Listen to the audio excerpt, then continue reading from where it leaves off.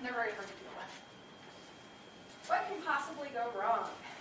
Well, the best case scenario is you have a lot of fun. If you're going to ghost hunt, it's a ton of fun. Even paranormal investigating, I have a blast every time I do it. You're going to capture some amazing paranormal evidence. EVPs, full-bodied apparitions. You're going to have a good story to tell. Or you help a client if you're on the paranormal investigating side. Somebody is scared and you've created answers for them. Worst case scenario, physical injury. Now, I'm not talking just spirit injury, like somebody threw something at you. I'm talking about you're walking around and you put your foot through the floor because it's an old abandoned building. Don't do that. Time and money spent. Ghost hunting can get expensive, especially if you're doing like the paid ghost walks. Paranormal investigating gets incredibly expensive.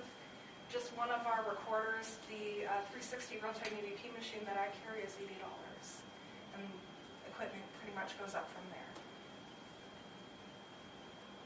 Unwanted spirit attachment, which is what Butch was explaining.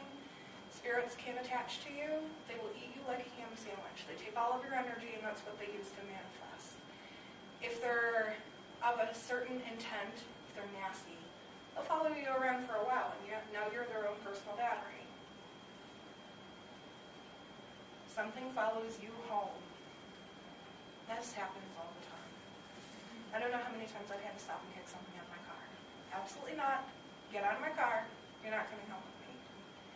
Or we have one of our investigators who skipped a step and they're like, hey, I'm having problems in my home and now I have to come in and do it once. That happens more frequently than I'm sure. Demonic possession. Now that's incredibly rare. But like I said, as a paranormal investigator, if you do experience the demonic, that's your biggest worry. Because once they see you, they don't unsee you. And your family or friends can be affected. This is something